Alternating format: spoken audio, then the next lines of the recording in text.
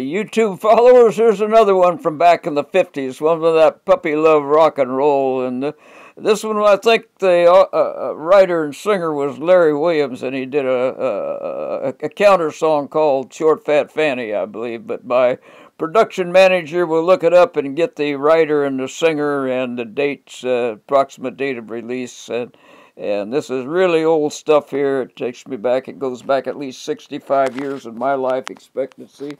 So uh, uh, here we go. Try to try to get this smartphone camera pointed at me so I can see what I'm doing here. Boney Moronie.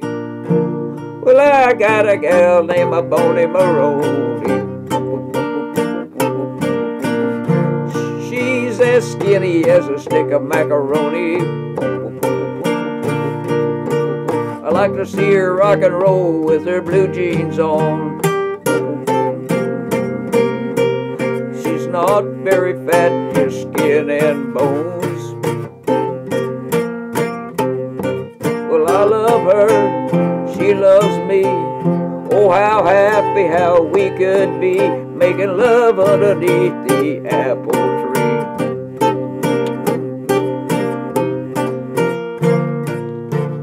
My one and only, she's my heart's desire.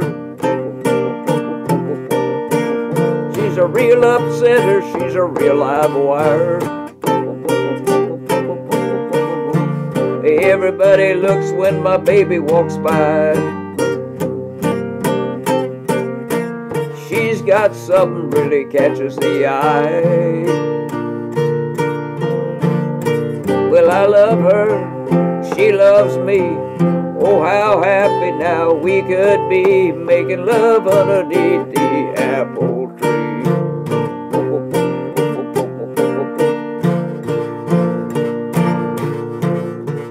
Well, I told her mama and her papa too. Just exactly what I want to do.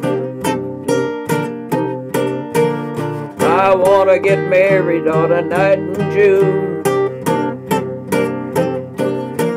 and rock and roll by the light of the silvery moon. Well, I love her, she loves me. Oh, how happy now we could be making love underneath the apple tree. We didn't know about anorexia back then, but may have been a problem in the song.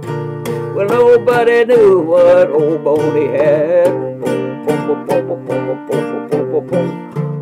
Way back in the 50s, and the knowledge was bad. They called it anorexia many years later. Now Boney's in the ground, she's a cold potato. Well, I loved her, and she loved me. We could have been happy, but now you see she's been buried underneath the apple tree.